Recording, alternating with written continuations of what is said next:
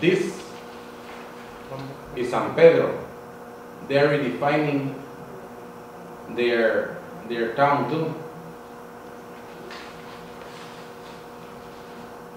This is San Ignacio. This is not just Benque. This is all across the country through the rural development, local government. To the mayors, we are doing this, but we are not taking nothing from nobody. This is Punta Gorda. They're doing the same thing. This is not just Benque. It's everything around the country.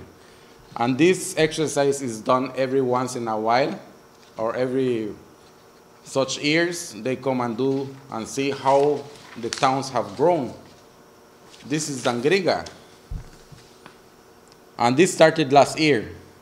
This redefinition started last year to have everybody to be served by their towns, by their mayors. It's very important for them because um, they have to operate within a jurisdiction that is clearly delineated.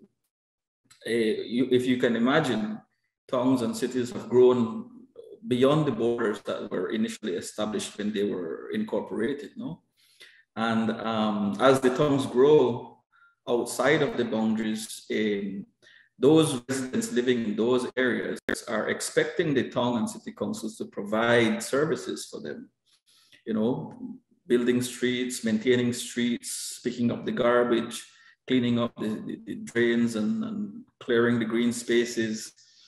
But uh, technically, it is not within the town because it's not, you know, officially within the borders. But of course, um, towns and mayors and, and of course their councils have always been willing to do that.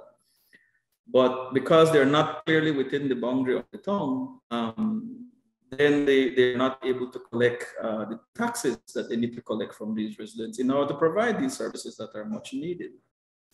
And so this is something that they have been, they had been dealing with before um, the new government came into office. And so this is what we're doing.